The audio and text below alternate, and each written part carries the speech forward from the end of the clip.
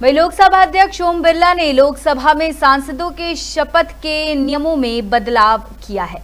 नए नियम के मुताबिक अब सांसदों की शपथ के बाद अब कोई भी नारा लगाने की अनुमति नहीं होगी। ओम बिरला ने अध्यक्ष के निर्देशों में निर्देश एक में एक नया क्लॉज भी जोड़ा है। इसके मुताबिक अब सदस्य सिर्फ़ शपथ लेंगे और शपथ पत्र पर हस्ताक्षर करेंगे। इस दौरान वे किसी भी अन्य शब्द या किसी मुद्दे पर कोई भी टिप्पणी नहीं करेंगे।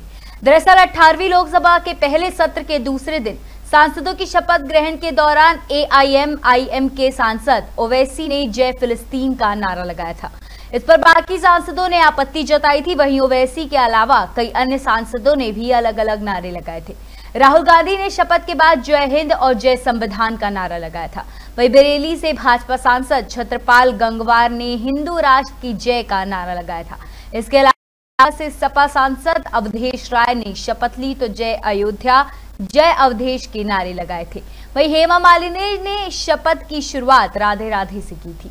इन नारों को लेकर सांसदीय कार्य मंत्री किरण रिजिजू ने आरोप लगाया था कि सांसद शपथ ग्रहण के ज़रिए अपना अपना राजनीतिक संदेश भेज रहे हैं।